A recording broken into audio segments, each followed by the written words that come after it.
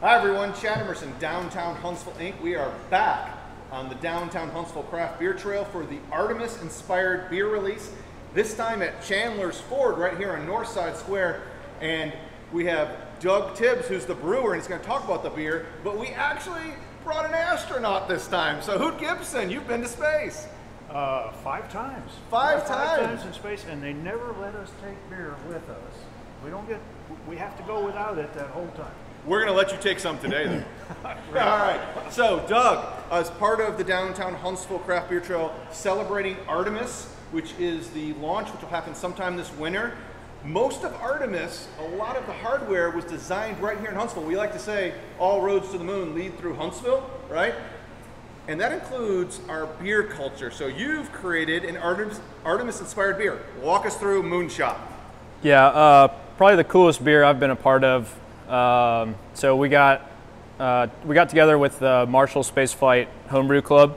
Uh, some of these guys are local and they've been doing this a long time.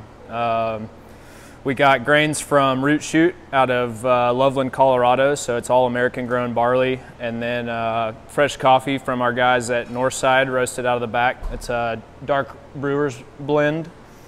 And then the coolest part is uh, Ninkasi Brewing out of Oregon uh, in Eugene. Actually, have been working on a uh, getting yeast to and from space and using it. Uh, so they were they were good enough to send us some freaking space yeast. All right. Uh, and- so the and yeast in this beer has something in common with who? They've all been to space, right? Yep, and soon to be this guy. Yeah. yeah, Artemis is going to take yeast to space as well. I've heard. Maybe I'll get some. So, um, thank you very much. So, the way it works, folks, you can come on down here. Moonshot will be on draft. We're featuring it all week long. All the 10 stops will have a different week. This is the second week. So, come get Moonshot. They have it uh, on tap and they also have it to go. Uh, to In cans. In cans, in cans. To celebrate um, Chandler Ford and Doug's vision for Moonshot, we want to give you a replica. This is for Chandler's Ford of the SLS, which will be launching soon.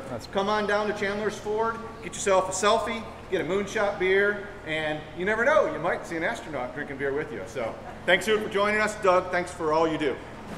Cheers. Cheers. Cheers.